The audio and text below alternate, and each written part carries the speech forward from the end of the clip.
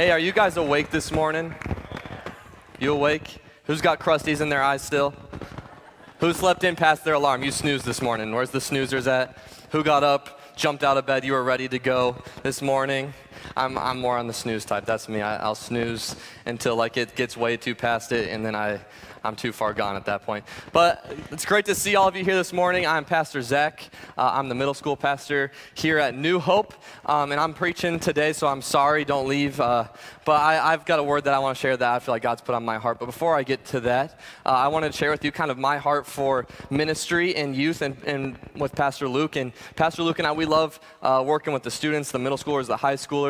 Uh, we love pouring into them and uh, um, preaching to them and, and, doing life with them. But what I'm afraid is that uh, we're creating, we're kind of creating a culture that has been, um, not us personally, but just kind of our, our generation and our world is kind of creating this culture where uh, we're expecting uh, the church to do all the ministry, and then as families, you would then supplement the ministry that's being done here. So, so we're the ones doing leading all that way, and then you add to it. But I think that's reversed. I think really what it should be is as families, as parents, as grandparents, aunt and uncles, you should be doing, uh, you should be pouring into your students. You should be teaching them and walking through that. And then as as the youth pastors, as the children's pastors, as as the people preaching on Sunday mornings, as they preach, that is just adding to what you've already taught them.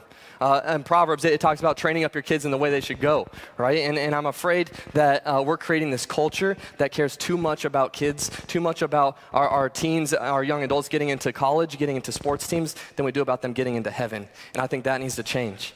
When we look at the parable of the sower, uh, uh, the seed is thrown out, and there's all different types of, of, soil, right? There's a little bit of soil, there's some with no, no soil, there's some with a lot of soil. And, and I'm afraid that uh, many times the seed is thrown out there on a Sunday morning, on a Wednesday night. And for, for students, for, for yourself, I think we need to check our hearts. Uh, what kind of soil is our heart? Do we have a lot of soil? Is there, have you been um, pouring into your student, your, your, your child, your grandchild, where that soil is deep and that seed's going to land and it's going to grow up into something strong? Or is that going to sprout up for a couple days and then, and then wither away and die because there's not enough soil? Um, so, so that's my heart. I know that's kind of like putting it all out there, but I wanted to share with you my heart and something that God's been kind of speaking to me on that. That, that we need to create our hearts, uh, whether it's good soil, where we need to be pouring into ourselves, into our own lives, into, into our children, our grandchildren, so, so that when the seed is put out there, that they're able to uh, grow up nice and strong and, and, and train them so that they'll be following Jesus when they get old. Amen. Amen. Well, this morning, uh, I've got some fun dates for you, all right? The, the title of the message today, if you're taking notes, because note takers are because note takers are world changers. All right, I'm going to say because note takers are, and then you'll say world changers. If you're taking notes, say because note takers are world changers. Title is Best Day Ever. Best Day Ever. Turn to your neighbor and say, Today could be your best day ever. Now turn to the neighbor you just ignored and say, Neighbor, you might be my second choice, but today could be the best day ever.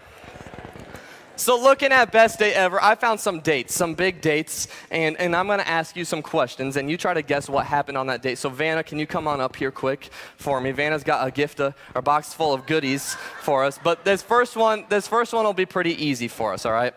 So, I'm going to say a date, and you shout out what happened on that date. July 4th, 1776.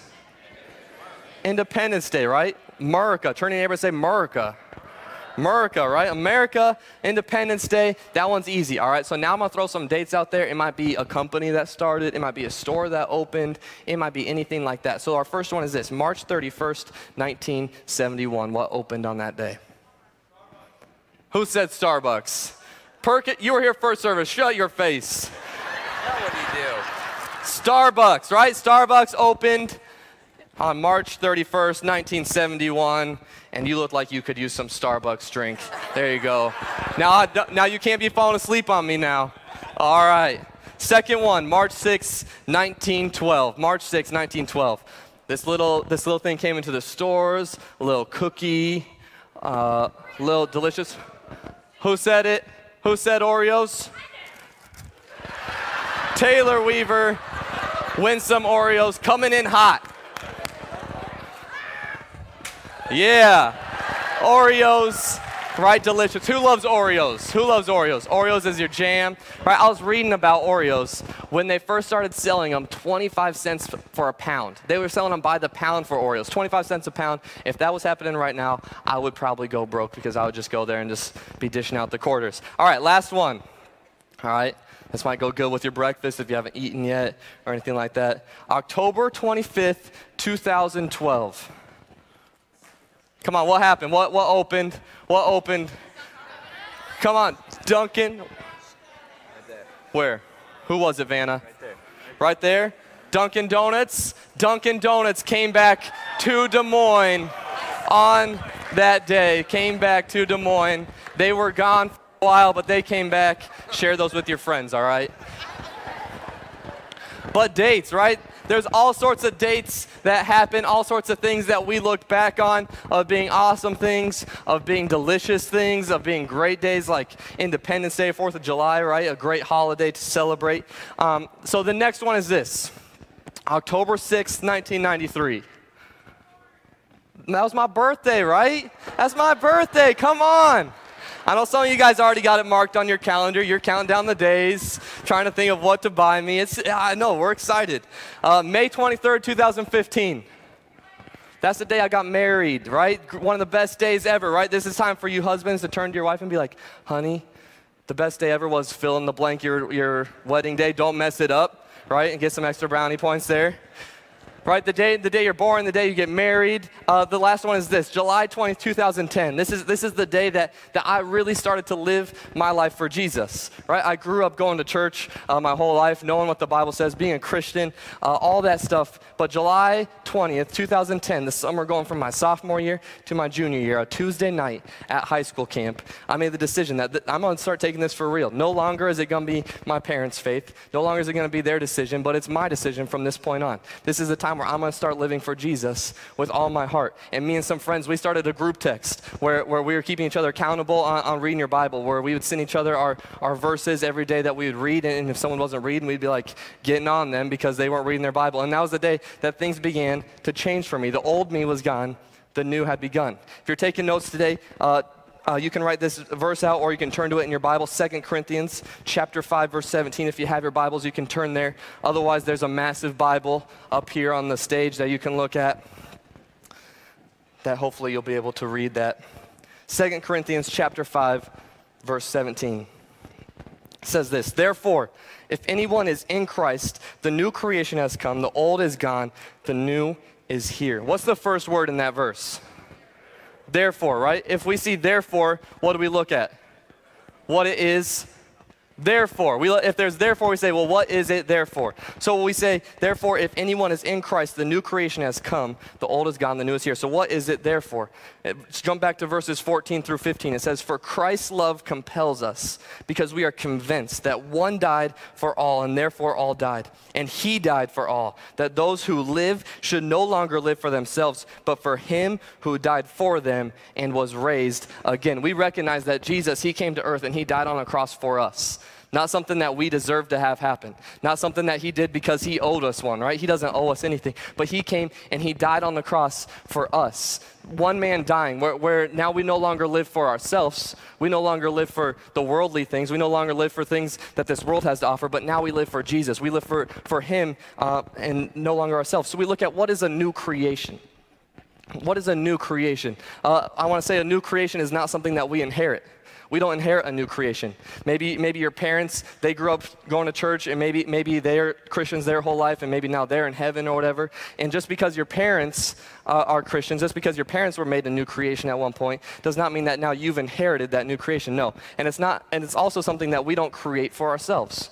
We can't come in and we can't create ourselves new. We can't do that on our own. But rather, Jesus comes in and he makes us new. It's like, picture it this way as a total renovation, right? It's not like our life and then God's coming up and he's adding himself to what we already have going on. Rather, it's a renovation where he comes in and he wipes it clean, right? He, he takes down the, the walls, he, he pours out, he uh, uh, rips up the old carpet, right? And he puts down all new stuff, all new walls, all new countertops, new cabinets, right? It's fully new. It's not just painted over, it's all brand new, totally new, totally fresh. So new creation. So what is what is our old things? The old things are our old ways of doing things, uh, our, our, old sin, our sin nature, our, our love of sin, our love of self, our self righteousness, all these things that are the way that we used to do life. The, the pains that we used to have, the hurt that we used to have, now, now created new. Those things were those things when Jesus died on a cross were now nailed to the cross with him and he took those away. So what happened on July 20th was the old me was gone, right? The, my old ways of doing things is now the old way, and now I'm stepping into a new way. Maybe today you come in with baggage, you come in with hurt, with sin, with, with a love of self, a love of sin, and, and that's, the, that's the old way. And, and today God wants to take those old ways, and He wants to make you new again. Today, you might be sitting there saying, Well, that's awesome, Pastor Zach, that that happened to you. And you know, that actually happened to me uh, last month, or, or last year, or 10 years ago, or 20 years ago, where, where I went from being an old creation to now a new creation. And it was awesome in that moment. Like, it was really cool that that happened. And, you know, I've been working to live for Jesus ever since. You know, it's not, it's not always the greatest, but I'm, I'm working for it. Or maybe today you sit there and you're like, Man, I've never heard of this in Christ. Being made in Christ, not living for myself, but, but living for, for Him because He died for me. And I'm not real sure what to think about that, like about being in Christ. I, am into donuts, I'm into coffee, I'm into that guy, I'm into that girl, I'm into my job where I can make money, but to be into Christ, I'm, I'm not real sure what I think about that. Maybe that's where you sit today. Well, today's going to be a little different. You see, I don't have the pulpit up here, uh, not because I think that I'm cooler than everyone, which I am cooler than Pastor Weaver, but um, not just because I think I'm cooler than everyone and I need to do something different, but I'll be doing an illustration today um, where people will be sitting in these seats and I'm going to be telling stories, uh, not specific to anyone in here, not specific to the people that will be sitting up here. The names have nothing to do with anyone specific, but my prayer today is that you would relate to one of these stories, that maybe a full story would, would relate perfectly with your life, maybe parts of a story, and you would see where these stories go from an old creation to now a new creation, where the old is gone and the new is here. So, our first story that we see this morning is the story of Julia. And Julia's story is a story of being in pain. See, Julia, she lived with just her mom all growing up. Her, her dad, uh, she never knew her dad. Her dad left her mom when he found out that she was pregnant with her. So she grew up uh, with just a single mom. Growing up, her mom would make sure to get her in church. Uh, they were Catholic, and they, they, would, they would try to go pretty regularly. And Julia, she never really, she never really liked it. She, she just came into there because her mom made her, and she saw it as a place of uh, judgy people. So, getting older, uh, Julia's mom begins to work more, uh, work, work, a lot because she's a single parent, and, and now Julia has all this free time. And, and, with all this free time and without a father in her life to ever tell her how, how beautiful she is, how much he loves her, uh, what she can be when she grows up, and how awesome she is, and all this stuff, she begins to give herself away to guys. She begins to do things with guys. She begins to tell things to guys. She really just starts to go with whatever guy will give her attention. Well, this starts to just kind of become who she is, and, and she, she goes to school and she kind of gets these names that, that come with doing all these things. And, but one day at school, a friend comes up to her and they invite her to church. She thinks, all right, I'll, I'll go there. I know some people there. And she comes to youth group one night, and one much like ours here. And she comes, and there she, she hears about Jesus and she gives her life to Jesus. And the old is gone, and the, the new has begun and she starts living for Jesus. She starts, she starts coming to church on Wednesday nights, on, on Sunday morning. She starts to begin to change things, uh, new friend groups. She's hanging out with all these friends all the time, these new friends, and getting plugged in that way. Well, since she's not at home anymore, since she doesn't really see things that are going on, in the meantime, her mom gets this new boyfriend. And they're dating for a little while, and then, and then they end up getting married. Julie doesn't really know who this uh, new stepfather is, but she sees that her mom's happy, and she says, Well, if she's happy, you know, I'm happy.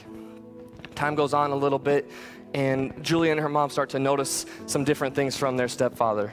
Uh, Julia and her mom, they, they start getting abused uh, verbally. He begins telling them things, telling lies to them, uh, dictating how, how they live their life, who they talk to, where they go, all these different things. Um, and then it starts to get physical. And he starts hitting Julia, starts hitting her mom, and it becomes a physical abuse. And one night, Julia at home ends up getting raped by her stepfather. Now, Julia she feels embarrassed. She, she feels disgusted. She doesn't want anyone to know what happened. So she, starts, she stops going to church because she's embarrassed of what people are going to think of her. And after a little bit of time, she ends up running away because things at home don't get any better. Running away, she goes back to the old things. Although she had been made new, she let the old back in. And she, she starts giving herself away to guys so that she can pay for food or whatever else. And she starts going to parties and, and drinking and, and, doing drugs. And, and she ends up meeting uh, this guy, and, and she starts dating this guy, and he's a drug dealer. Uh, so she starts to sell with him, and they, they, you know, that's how their way of making money. And she loves him. Uh, she's never really had a real boyfriend. It's just kind of been uh, one night type of things for her all leading up to that. So every time that he's abusive to her, she, she forgives him. Every time he says lies to her, she, she forgives him because she loves him. Well, they end up having, having a kid together and, and start to go through that. And what and during this time, Julia, she started to make this new friend who had gone through a, a, life much similar to hers, through a lot of the same pains, the same hurts, the same story as hers. And, and her and this friend started to talk a lot and they got really close. Well, one night that she gets a call from this friend, and on the other line, her friend's telling her that she can't do it anymore that, that the pain's too bad, the depression's too bad, and she doesn't want to live here anymore. And Julia's frantic, and, and she rushes over to her friend's house only to get there in time to see that her friend commits suicide. So now this pain that Julia had before is now multiplied by a hundred after seeing what she just saw and now this leads to drinking more and, doing more drugs and, and she ends up getting her, her child taken away and now her pain is multiplied and she is so deep in pain and so deep in depression that she doesn't even know she doesn't even know which way's which. And, and she is so deep in drugs and alcohol. And maybe today you're sitting here and this is a, a story much similar to yours. Maybe some of the same things, maybe going through abuse or, or neglect or, or being, feeling abandoned, alone, or, or going through different uh, struggles of, of substance abuse and you find yourself sitting in the same seat, or maybe you, you see the seat and you say, wow, I thought I had some pain in my life, but like that, that is, that's way more, and you know, what's my pain compared to that? But hear me this morning, that your pain is real. And I believe that God brought you here for a reason because He wants to heal your pain. And I'm so glad that, that you followed someone's invite. I'm so glad that your alarm went off this morning, that you got out of bed, and that you made it a point to be here. Because I believe that God has you here on purpose for a purpose, that God's got a purpose for your life, and He wants to heal your pain. He wants to heal your hurts, He wants to heal your, your struggles. The next story we have is a story about a man named Blake. Blake's story is a story of being in guilt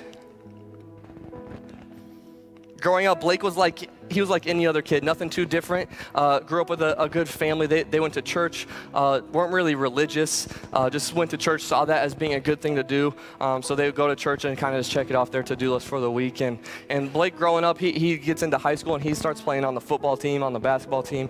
One day in the locker room, uh, he's sitting there after practice and a friend shows him a magazine and, and he sees pornography for the first time in the locker room. At first, he's a little embarrassed about it. First, he, he doesn't really know what to think, uh, you know, a little uh, grossed out by, by what he sees, but he quickly becomes desensitized to it. And now, what he thinks is controllable, an addiction begins in his life. Growing through high school, he didn't really tell anyone about it. He, he knew it wasn't right because he had gone to church, but, but he didn't really, you know, he didn't really care that much. And, uh, but he didn't want anyone to know, just his friends that would talk about it and joke about it. Well, Blake ends up going to college. And there at college, he, he meets this girl named Sarah. The, the most beautiful girl he had ever seen, the love of his life, the girl of his dreams, and they begin dating. Well, as they, as, as they continue dating, he continues struggling with this addiction. And, and as they continue dating, words like uh, forever, words like marriage, words like family begin coming up in topics of discussion. And, and one thing leads to the next, and they end up getting engaged. Well, Blake, seeing that they're engaged and he loves Sarah so much, she's, uh, she's the best thing that ever happened to him. He, he wants to honor her. So he says, When we get married, I'm done looking at all that stuff. I'm not going to look at it anymore because I want to honor her because I love her so much. And, and time goes by and they get married. And at first, Blake's doing really well with it. But a couple months go by and same things come back in, addictions come back to him, and, and it's something that he begins to struggle with again.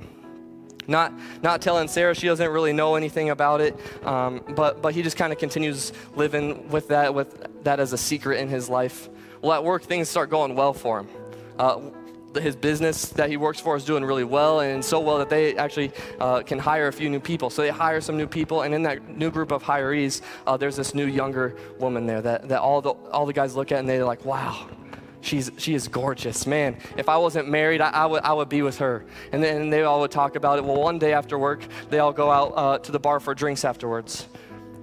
Blake begins to talk to this girl, and, and before long, they realize that they're the only two left at the bar. One thing leads to the next, which leads to the next, and Blake ends up doing something that he never thought he would ever do. And he cheats on, he cheats on his wife. He, he's not loyal to his wife. His wife, Sarah, she, she finds out and she's devastated. They, they separate for a while, and now Blake is sitting in the seat of shame. in the seat of guilt, in the seat of addiction because, because he didn't deal with things at a younger age, they now led up to, led up to him being in the same seat of, of shame and, and guilt. Maybe today you find yourself sitting in this seat maybe from similar events, maybe from things unrelated to that, but you find yourself sitting in a seat of addiction where, where you're struggling with stuff and, and maybe no one knows about it, maybe everyone knows about it, but you're struggling with addiction and maybe, you're, maybe you've done some things that led to another and you're sitting in a seat of shame and guilt. But hear me this morning that God wants to heal your shame, He wants to heal your guilt. I believe that you're here for a reason, that you're here on purpose for a purpose, that God has a purpose for your life, and today He wants to heal your guilt. He wants to take you from the old to the new. So maybe those first two stories don't really, you know, relate to relate to yours, but maybe the third story will relate, and it's a story of a girl named Amber. And Amber sits in a seat of being in doubt. Amber grew up in an atheist family. In middle school, uh, Amber struggled with getting bullied, with getting picked on. Um, you know, nothing for no really reason, just middle schoolers being mean to each other, and she, she really struggled with that, which kind of led to starting to get some depression. And, and when she gets to high school, she says, you know what? I'm done being the one that everyone makes fun of. I'm done with that. I'm gonna make a name for myself. So when she gets to high school, she begins going to parties. Uh, she begins to drink. She begins to uh, sleep with guys, give herself away to guys. And actually, this ends up leading to her being popular. This ends up leading to her being on the in crowd. And, and uh, she she begins to drink more and, and she realizes that the more friends that she gets, the more she drinks. And the more guys that she's with, the emptier she feels. And the emptier she feels, the more depressed she gets. The more depressed she gets, the more she drinks. And it just begins this vicious cycle in her life uh, of, of pain, of, of substance abuse. And, and this, this depression actually ends up to not her just thinking about suicide, but to her actually attempting suicide. And one night uh, in her room at home, Amber, Amber tries to overdose on some drugs, and only to have her brother find her and rescue her. What you think would be a good thing, what you think would be a time where things can turn around, but, but it actually led to her just thinking, I'm a failure at everything. I can't even succeed at ending my own life. Well, growing up in an atheist family, she never had really anyone talking about God, and, and she, she realizes that she has tried everything to take away the pain. She's tried everything, but, but maybe there's a God. Maybe there's a God out there, and, and maybe she'll give that a chance. So at home in her room by herself, never praying to God before, she, she says something like this uh, Hello, God? Uh, are, are, are you there, God? If, if there even is a God, dear God, uh, I pray that um, you would just show yourself to me.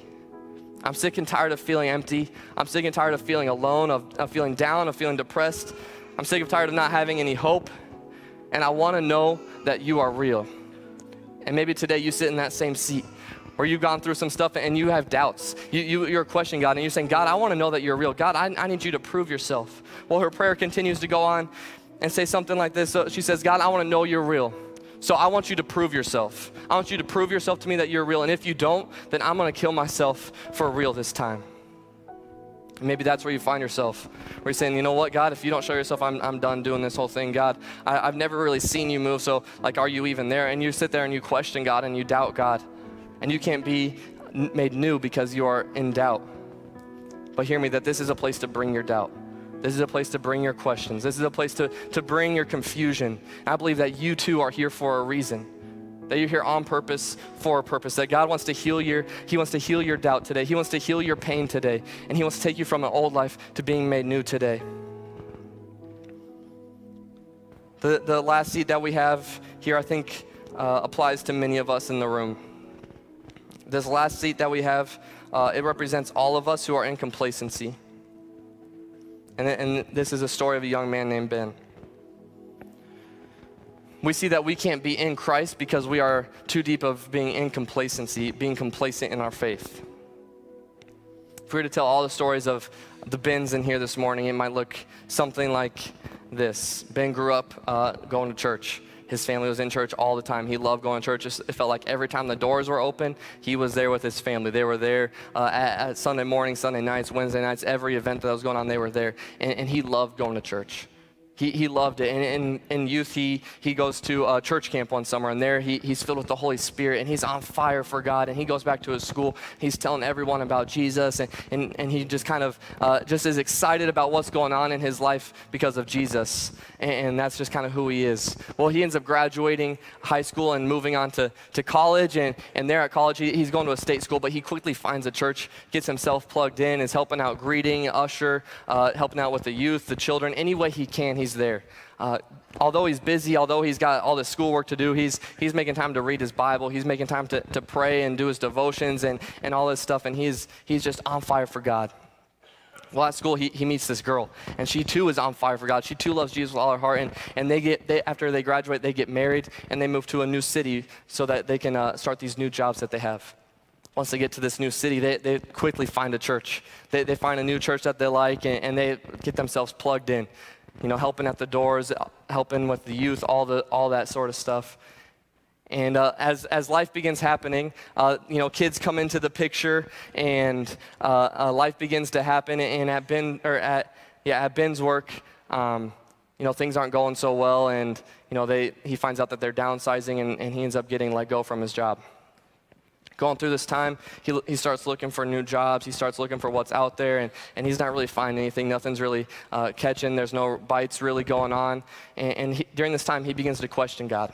He doesn't doubt that God's real. He just begins to question God, why are you letting this happen to me? God, you know, you've proved yourself so, so many times to me, why, why is this not happening? God, do you, do you care about me anymore? I, have done this for the church. I've done, I've done this. You know, I, I've been faithful, and now you aren't proving yourself faithful back to me. And he begins to, to go through this tough time of questioning God. And, and, his relationship with, with Christ really struggles during this time. His family continues uh, to, to go to church, but you know, life starts to get busier and kids get older and sports schedules and, and vacations and, and all this stuff starts to happen. And going to church uh, is no longer a thing where they're excited, where they're excited to get plugged in, where they're excited to, to hear what God's saying, excited to worship. But now it's, it's become something of just, you know, we, this is something we do. We got to check this off the to-do list. And to the, to the church on the outside, everything looks great. They, they look like they're doing awesome. They, they look like everything's, they've got it all together, but inside, inside they're spiritually dead. And maybe this is, this is a place where you find yourself this morning. Or at one point you were so excited about your faith. At one point you were so excited to know more about God. You're so excited to come in and worship God, to raise your hands, to, to open up your Bible and see, see what it's saying and how you can apply it to your life. But now you've kind of fallen off and it's, it's just kind of become routine for you, a checklist thing for you to do. And, and maybe you come in here instead of worshiping uh, the God that the song is about, now your worship is dictated on whether it's a song you like or not.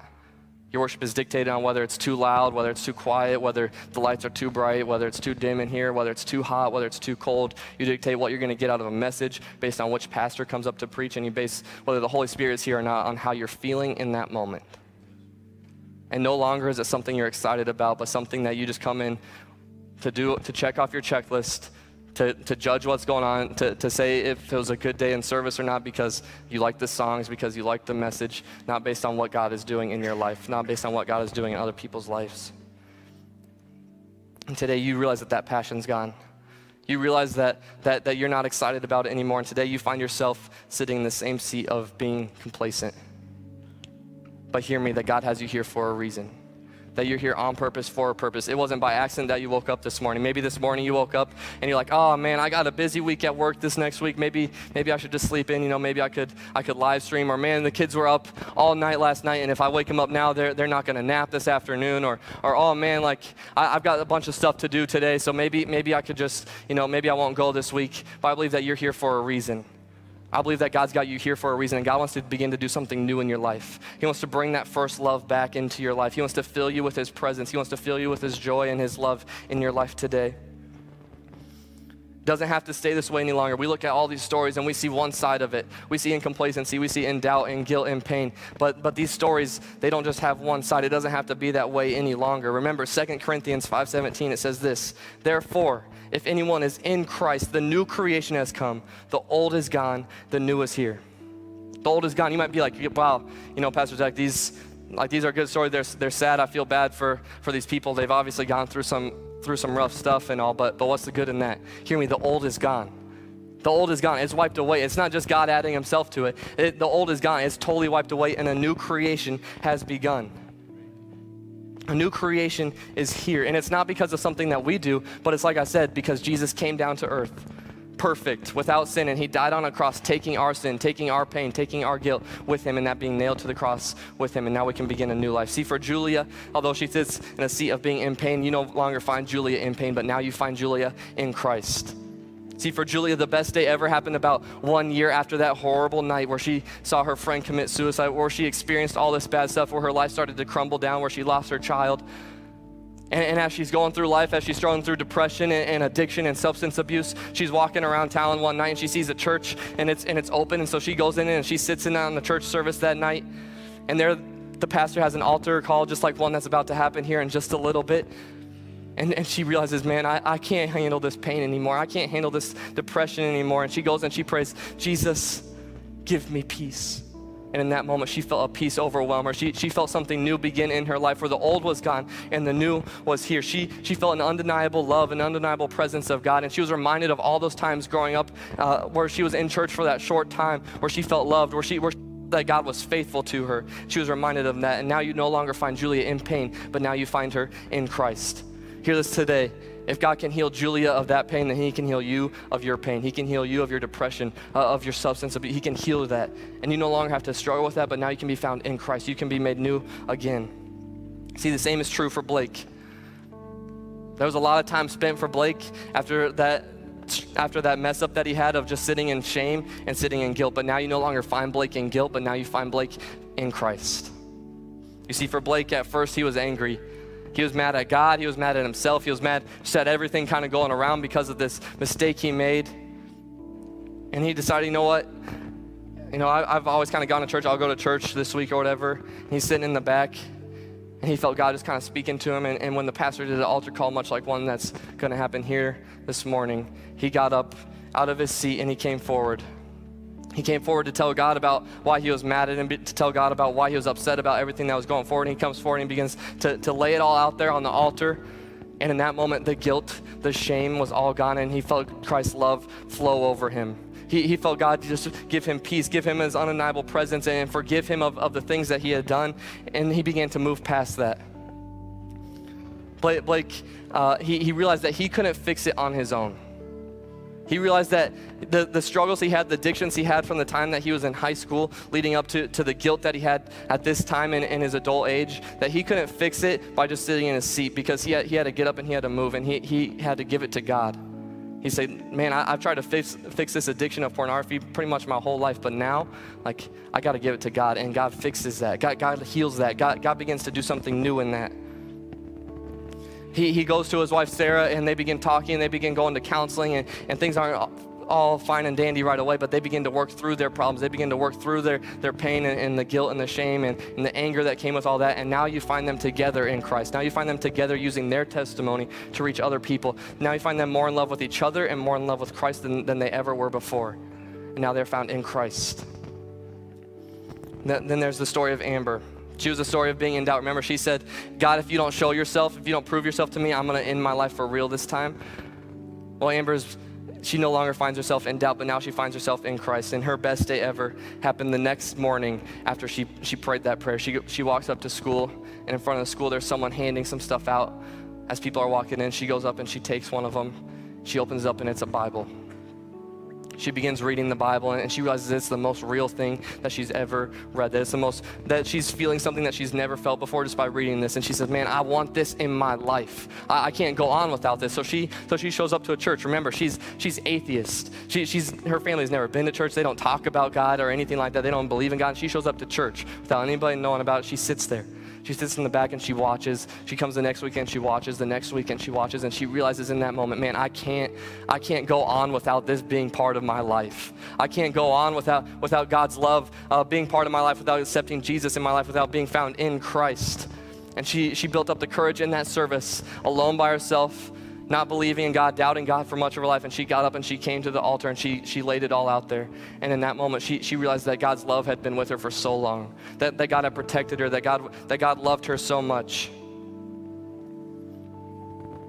Now you no longer find her in doubt, but now you find her in Christ. Lastly, we have the story of Ben and worship team. You can come on up.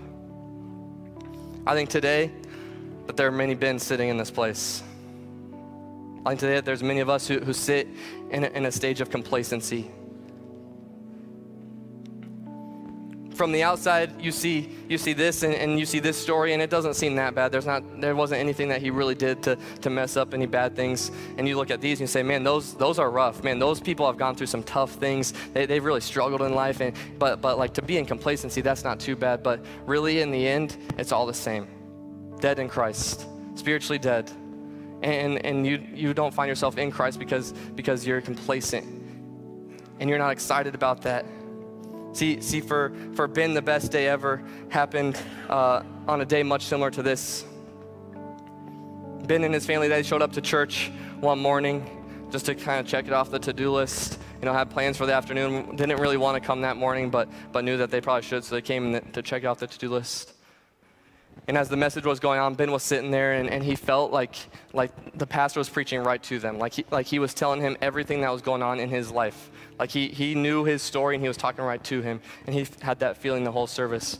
And when the altar call happened, one much similar than that, that's going to happen to this morning, he got up from his seat, making a decision for his family not a, just a decision for himself, but deciding for his family, saying, Me and my family, this is something that we're going to do. This is something we're going to make a priority. I don't want to be in this stage anymore. I want to be made new in Christ. I, I don't want yesterday's bread. I want today's bread. I want to fill myself up every single day with this. And now Ben and his family, they're no longer found in complacency, but now they are found in Christ. And now that now they are back on fire for God. Now they're back plugged in. They're back being excited to come to church, being excited to learn more about what God has for their life. Hear me, God can do this for you. Maybe you find yourself in pain. Maybe you find yourself in, in shame, in, in doubt, in complacency. But hear me, God can take that away. He can make you new in Christ. The old is gone, the new is here. But hear this many times our faith is motion activated faith.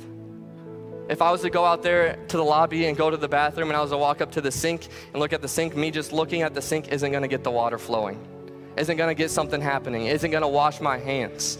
But when I walk up to the sink and I move and I put my hands under it and I begin to move them back and forth, the water is gonna begin flowing out. The same is true for our faith. Many times we sit there th- saying, Oh, come on, God, do something in my life. God, come on, I want you to do this. But we sit there in the same seat that we've always sat.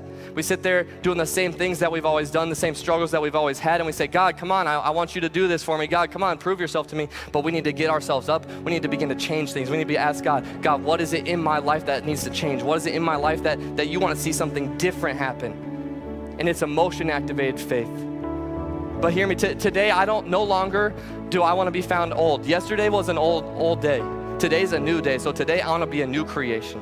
Yesterday I had struggles. Yesterday I, I, did things. If we were to all look back at yesterday, there's some things that if we could change, we probably would. And yesterday's an old day, but today's a new day, which means we can be a new creation.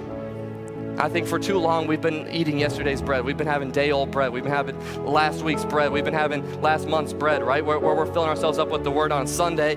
We fill ourselves up and we feel good on Sunday morning. And then we leave, and, and Monday, you know, we're, we're just going off of what we heard Sunday, and Tuesday, you know, off of what we heard Sunday, and Wednesday. By then, it's just, it's just kind of old. Think about it this way if you go to Jimmy John's, you can buy day old bread if I was to go to Jimmy John's, I'll say, hey, put the put the day old bread on my sandwich, uh, and I was to go eat that sandwich, it's gonna be a little hard. But if I decide to say, hey, you know, do you have anything from like two days ago? Can I, can I eat some bread from two days ago? I eat that. That's going to be real hard. That's not going to be good. The same is true for our walk with God. We want to fill ourselves up with something new today. God might have revealed something to you yesterday, but that's not for today. That was for yesterday. Today is something new. Today, God wants a new creation from you. Today, God wants to do something new in your life. If you would stand all across this room this morning. August 27th, 2017 could be the best day ever for you.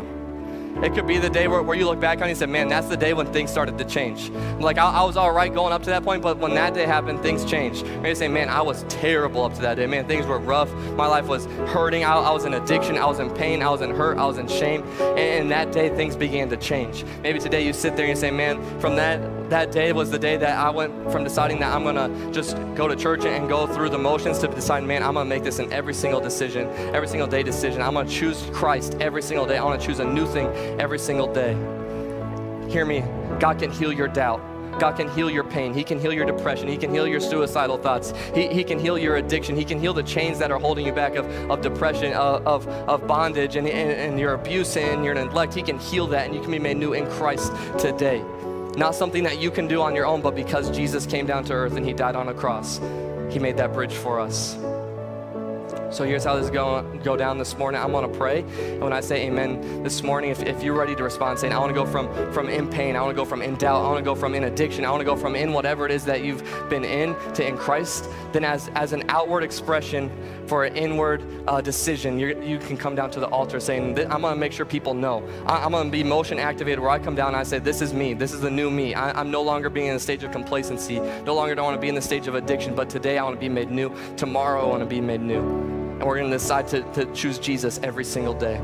Dear Jesus, God, we, we thank you, God, for this morning. We thank you for every person that's here, God, that you have them here for a reason, that they're here on purpose, for a purpose, God, that, that you have something that you want to do in their life. God, I pray for those who are struggling with addictions this morning. God, those who are struggling with substance abuse, those who are struggling with, with pain and depression and hurt and doubt.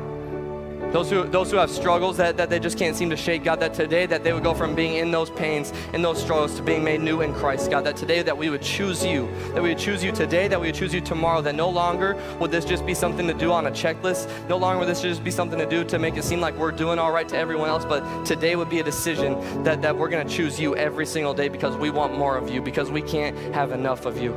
God, I pray that you would break those chains today. God, I pray that we would go from those, uh, those in pains to being in Christ today, God. You're free to move in this place, we pray. In your name we pray, amen.